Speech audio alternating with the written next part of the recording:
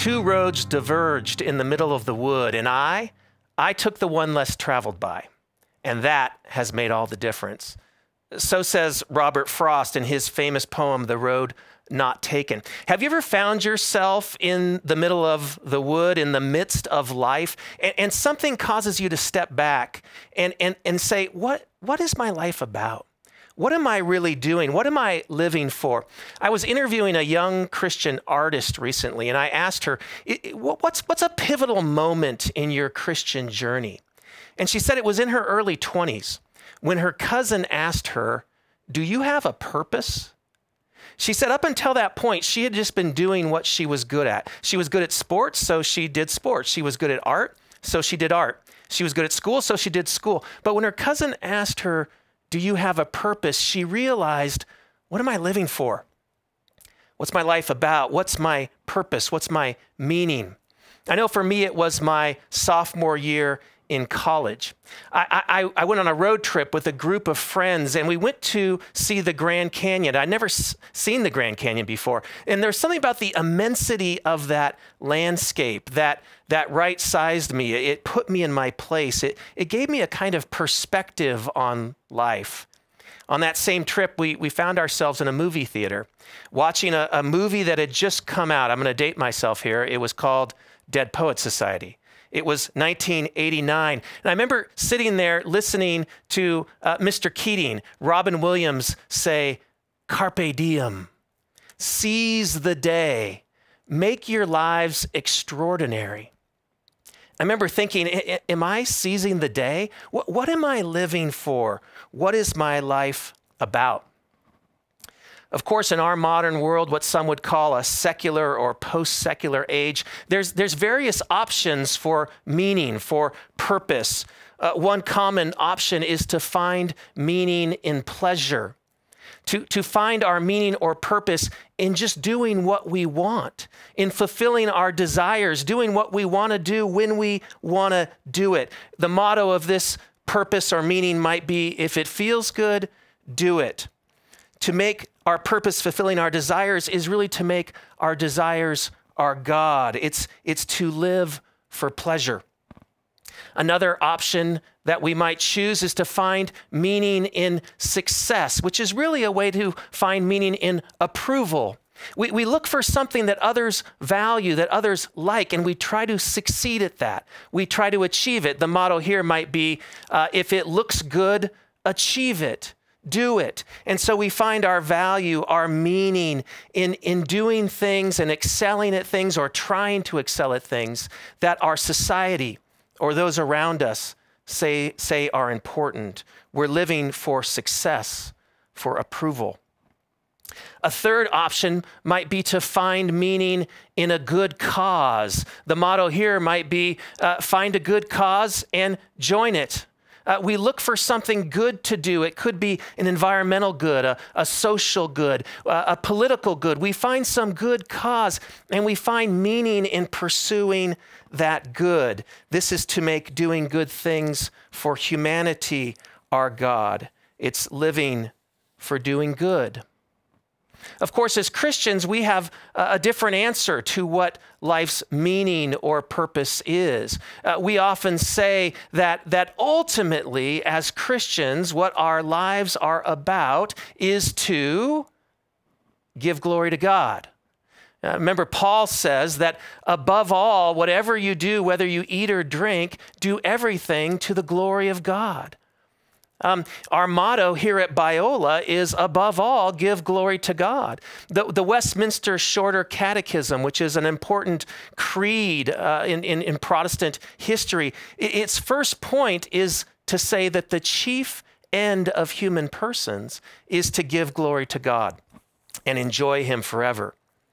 It's hard to argue with someone who says that what their life is about is to glorify God. I mean, that sounds pretty good. And yet, I'm concerned that that's, that can be such an abstract notion. Is it actionable? What does it look like to give glory to God on a moment by moment, daily basis? And so I'm concerned that we might actually miss the power and, and significance of a Christian vision of life's purpose unless we get clear on what it means to give glory to God with our lives. Well, in this case, as in all cases, Jesus is going to help us out. There's very few times in Scripture where we get something close to a definition, but here in John 15, particularly verse 8, we get a pretty clear definition of what it means to glorify God with our lives. Jesus says in John 15, 8, By this my Father is glorified, that you bear much fruit, and so prove to be my disciples. Now, I want to unpack this a little bit together, and I want to do that in two ways. First, I want to talk a little bit about God's glory, and then I want to talk a bit about what it means to bear fruit for God's glory. So, first, God's glory. This, this Greek word is doxa. It can be translated either glory or honor. So, by this, my Father is honored or glorified that we bear much fruit. But, but what is his glory, and what does it mean to glorify him with our lives? Well, scripture talks a lot about God's glory, and it looks like what it is, is is God's glory is the visible manifestation of his being. It's, it's the visible manifestation of his nature, of his character. When we see through creation or through uh, humans made in the image of God or ultimately through Jesus, when we see God's nature displayed, we're seeing God's glory. God's glory in Scripture is often associated with light. And that's a good, that's a good metaphor or image for it. Just as light can be refracted through a prism and we can see the light spectrum, so too God's glory, God's nature can be refla- refracted through what He's made. And we begin to see different features, different attributes, different characteristics of who God is. This is why Isaiah can say that the whole earth is filled with God's glory. Or the psalmist in Psalm 19 says, The heavens declare the glory of God. The created order, especially as God originally designed it, it refracts God's nature. We see his intelligence, we see his goodness, we see his power in the things he's made, we see his glory. This is why Jesus is the glory of God. Hebrews 1 3 says that Jesus is the radiance of the glory of God, the exact imprint of his nature. Since Jesus was God, he perfectly reflects God's nature. We see God's glory in the glory of Jesus. Uh, John uh, chapter 1, verse 14 said, The Word became flesh and dwelt among us, and we have beheld his glory. So that means that human persons made in God's image reflect back to God his glory when we reflect back to God who He made us to be. When we live as God intended in His image, we are glorifying Him with our lives because we're reflecting back to Him who He made us to be. As one theologian puts it, God's glory is the reflection of the being of God from the creation back to the Creator. And so, as we live more and more as God intended, we're reflecting back to God more and more of who He made us to be, who He intended us to be, and how He intended us to live. And we're therefore glorifying God more and more with our lives. Paul says it like this in 2 Corinthians 3:18. But we all with unveiled face, beholding as in a mirror the glory of the Lord, are being transformed into the same image as Jesus from one degree of glory to another. We, we are glorifying God more and more the more we're becoming like Jesus, who existed as the perfect image of the glory of God. But now, what is the fruit? If God's glory is, and to glorify God is to reflect back to God who he made us to be, when Jesus says, By this my Father is glorified, that you bear much fruit. What is the fruit? I want to say three quick things about this. In the context of John 15, it's quite clear that the fruit that glorifies God is produced through abiding in the vine, in Jesus.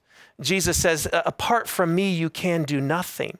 And so there's a sense in which anything good we do that's not done in an abiding relationship with Jesus, in dependence and communion, uh, through His life giving presence, His nourishing presence, that anything we do that's not done in Him, it really doesn't amount to anything. It's not the kind of fruit that Jesus has in mind. The fruit that Jesus has in mind proceeds out of an abiding relationship with Him. Uh, Marianne Thompson, who's a, a commentator, uh, says this Strikingly, Jesus does not exhort His disciples to bear fruit. Rather, He exhorts His disciples to remain attached to Him, the source of life. So the fruit comes out of abiding. We might say, by this the Father is glorified, that out of abiding in a nourishing relationship with Jesus, we bear much fruit.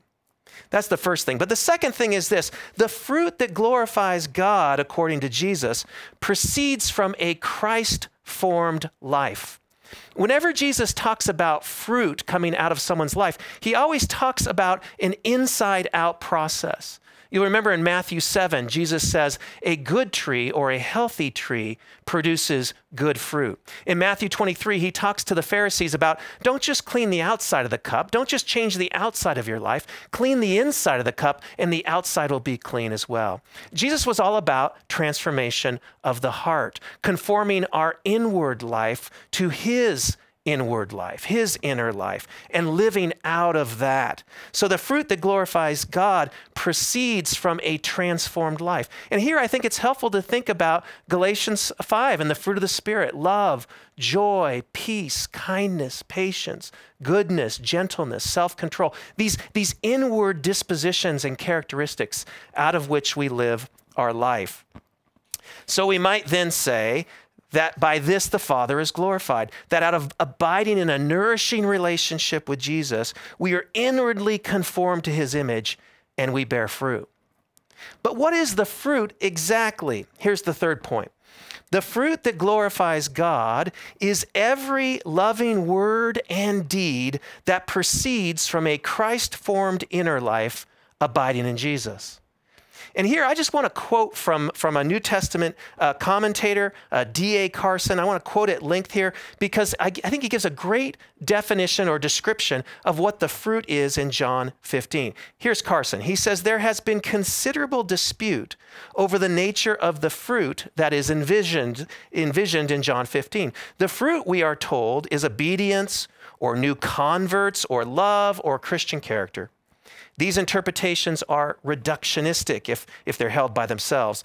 Carson goes on to say the fruit in the vine imagery represents everything that is the product of effective prayer in Jesus' name, including obedience to Jesus' commands, experience of Jesus' joy and also peace, love for one another, and witness to the world. This fruit is nothing less than the outcome of persevering dependence on the vine, driven by faith, embracing all of the believer's life and the product of his witness. So, so the fruit is really anything good that comes out of our life, out of abiding in Jesus as we are transformed from the inside out. We might say this By this my Father is glorified. That out of an abiding, nourishing relationship with Jesus, we are inwardly conformed to his image and we move out in love for good to those around us. Now, I don't know about you, but I saw a movie recently. Uh, it's a Disney Pixar movie called Soul. And, and if you've seen the movie, there's, there's one of the characters who's, who's trying to find his purpose. And, and he's decided that, that what he really wants in life is to play uh, jazz, but to play it at the highest level. And he finally gets his big break playing with Dorothea Williams and, and her jazz quartet. And he plays his show, and he plays the first show, and he plays uh, marvelously. And, he, and at the end of the show, he comes out of the, the jazz club, and he says, What do we do now? And Dorothea Williams, the leader of the jazz band, says, Well, we come back tomorrow and we do another show. And he said, You know, I've been living for this moment. This is what I thought my life was about. And now that it's over, I thought it would feel different. And Dorothea Williams tells this story. She says, I heard this story about a fish. He swims up to an older fish and says, I'm trying to find this thing called the ocean. The ocean? the older fish says. That's what you're in right now. This, says the young fish, this is water. What I want is the ocean. And I think there's a version of that story for us as Christians when it comes to the glory of God, when it comes to the purpose of our lives. It, might go something like this. I heard this story about a, a young Biola student. He walks up to an older Biola student and he says, I'm trying to find this thing they call glorifying God with your life. Glorifying God, the older student says, you can do that each and every moment of your day. Abide in the vine, Jesus. Allow him to, to conform you to his image more and more, and then move out in love towards the needs of those around you. Oh, that, says the younger student, now that's just regular old Christian living. What I want is to glorify God. Thank you, Steve, so much for that message and um, lots of big concepts when we talk about a glorious life. So I'm glad that we have this chance to sort of bring it down and get into some of the details and make things maybe a little bit more practical and tangible for us. But you talked about the movie Soul, which I have not seen yet. So, without giving any spoilers, yeah. what what did you like about it? And and why? Yeah. Well, I have to admit, I did. Uh, so I saw it over the Christmas break, and I did fall asleep twice. Uh, oh. Uh, the first time with my family, and then the second time I tried to watch it by myself uh, from where I fell asleep the first time, and I fell asleep again. So the third time I watched it all the way through. I really did like it, um, and and I think it's so connected to this topic of just what is the meaning of life. So the main character in the movie is is trying to find his purpose, and he thinks you know his purpose is to be this great jazz musician. And and and and the the I mean without any spoilers I mean what he comes to realize is no actually uh, meaning is found in daily gifts and, and daily life. And I think as Christians we'd want to tweak that a little bit. It's not just um, you know, I remember there's an old uh, James Taylor song where he says, you know, he sings, "The secret of life is is enjoying the passage of time." And and I think there's something about the present moment, something about daily life and the, and the, the moments of beauty and being present. But I think as Christians, uh, Jesus wants to say something uh, a little, you know, a little bit different, and in some sense radically different, which is that yes, it is in the the passage of moment by moment time, but for the Christian, we're we're meant to pass through those those moments abiding in Jesus and and that that life is is again conforming us it's it's transforming us and then it's meant to emerge uh, into the world uh, with expressions of love so so it, it's not some sort of big purpose out there you know i want to i want to glorify god with my life oh you can glorify god with your life right now mm-hmm. right in this moment mm-hmm. and i think soul while it wasn't uh, you know get that that Christian sense of that, I think it was dealing with a lot of those same sort of themes, and sure. and yeah, and for that reason and others, it was great animation, great um, uh, great music. Um, I really I really enjoyed it. Yeah. yeah. yeah, and I love how you brought in that story at the end hmm. of his interaction with the jazz singer. Yeah, but then changing it to how to what does that look like for a, a Biola student? Yeah, right. To say because glory can feel like it's something that's way out there and intangible and even unattainable. Right. But to say, oh no, that's just living the Christian life. Yeah. And and I think I mean I think sometimes this idea of glorifying God, you know, I, I wanna I wanna I want to do great things for mm-hmm. God. I want, mm-hmm. I want to, and, and, and I remember I heard one, uh, one pastor say one time that when he hears people say, I want to do great things for God, he kind of wonders if they're really saying, I want to do great things for God. You know, mm-hmm. that, that really it's more about kind of my ego or mm-hmm. it's more about uh, being noticed or or uh, feeling fulfilled in my life. And and so again you know there's that mother teresa quote that's kind of that's kind of on the opposite end of that uh, to do small things with great love. And and i think that's mm-hmm. the jesus way. Small things you know they might be big things but but that's not that's not our concern. Whether they're small or big whatever we're doing we want to do it for the glory of god. But and and, and that's that's abiding and that's loving and and then out of that uh, whatever whatever results. Right, and big things can be distracting, right? Because they can they can yeah. sort of suck us in they a little bit more. You even said you listed some alternative ways to sort of um, to live life, like that we seek pleasure, we seek su- success, Mm-hmm. um, good deeds, different ways that we seek approval. Yeah. So, which do you find is most tempting in your own life? Yeah, what do you lean yeah, toward? Yeah. Well, I can see all three of them at play at the same time, and it may be in various uh, stages of my life, maybe one more than the other. Um, but the one that probably uh, hits closest to home right now is just finding meaning in in pleasure, and and by pleasure, I don't necessarily mean you know uh, it's COVID lockdown. There's not a lot of pleasures available, Right. but but in just doing what I want to do when I want to do it. I mean, that's that's it's really desire fulfillment. There's something pleasurable about just being able to do what you want to do, and and I think that is to really. I mean, Paul talks about that. You know that that are their bellies are their god. It's their desires, their their appetites are their god, and and I think I I, I fall into that where it's you know sometimes especially with with young kids and and being a, a husband and a father. You know, there's lots of people um, who want my time and want me to do what they want me to do. And so, uh, so I fall into the trap of, of uh, I just want to do what I want to do. And I want to do what I want to do when I want to do it.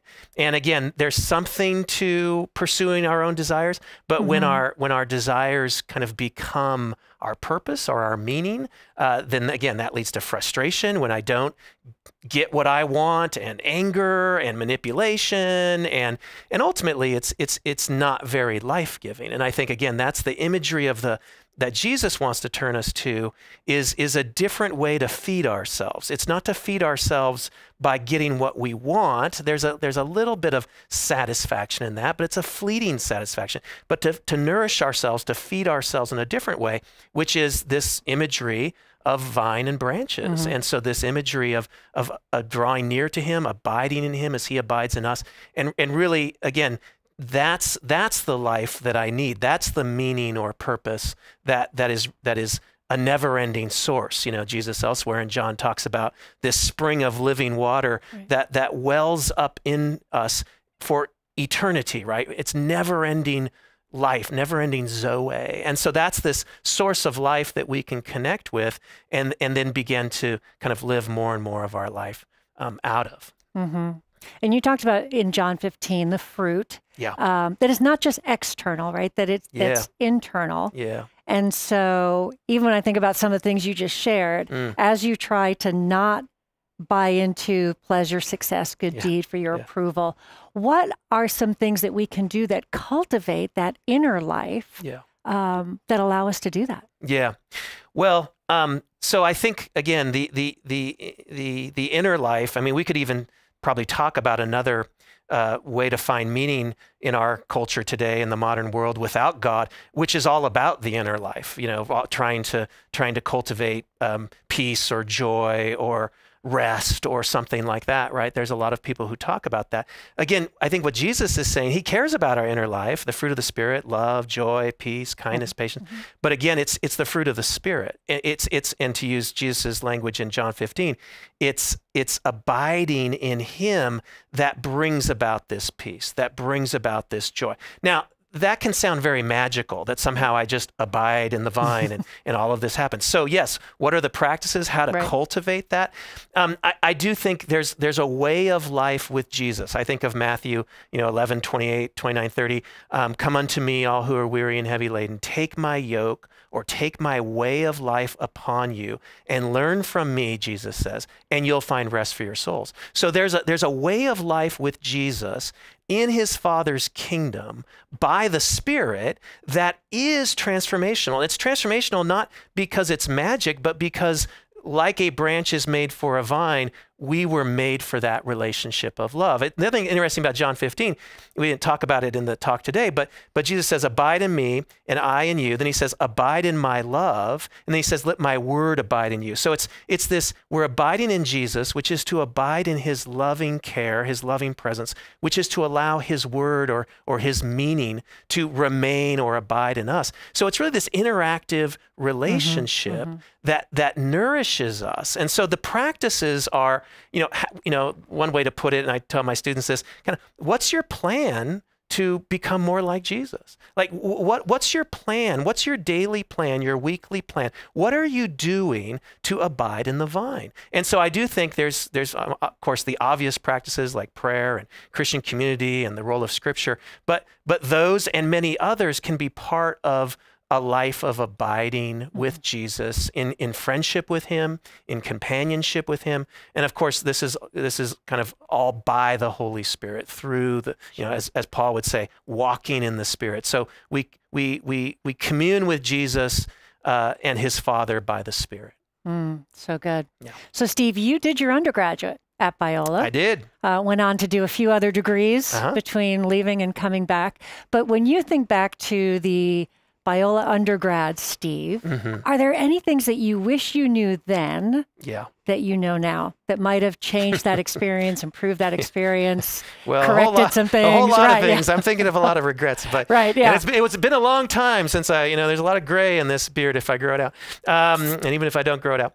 So, um, yeah. Well, when it comes to this topic, I, I think when I was a Biola undergrad, I, I, I did really try to find meaning, maybe not so much in pleasure, though that was there too, but but maybe more that that success, but but mm-hmm. Christian success. I, I thought, oh, um, here's how to have a meaningful life. Um, get busy for Jesus. Just do a lot of things. And so I was involved in inner city ministry and, and evangelistic ministries, and I went on, you know, every missions trip Biola had to offer because I just thought I'm just gonna, you know, I, I, frankly, I didn't I didn't care too much about my classes because I thought what it's really all about is is ministry and service and evangelism.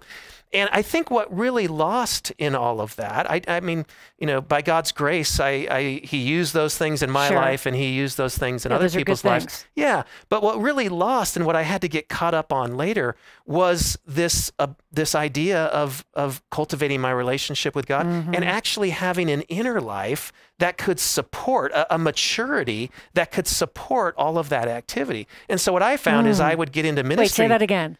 a, a well, I don't know what I said. A maturity, Maturity. That, that would support that activity. That's and, and, so good. And I would find that I'd get into these ministry situations, and um, again, I would I would do some good, or we would do some good, and by God's grace, He multiplied it. And yet, I didn't really have the maturity to sustain it. Mm-hmm. I didn't have the maturity to um, to treat my my my co fellow you know ministry uh, associates well, and we would have kind of all these relational breakouts, uh, breakdowns. And of course, that's going to happen no matter kind of how mature we get. But sometimes we fail in outward ministry for for really silly reasons and and it's it's really deep character defects and and and immaturities in our own life and again in our relationship with God. So if, if I was talking to my younger Biola self, I would say, slow down. Uh, you know, there's plenty of time for God to use you.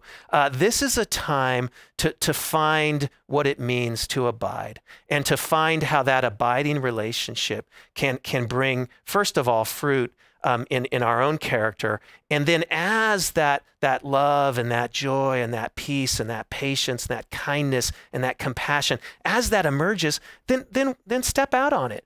And, and don't, don't be in such a hurry to get busy for Jesus or to, you know, glorify God and do great things for God.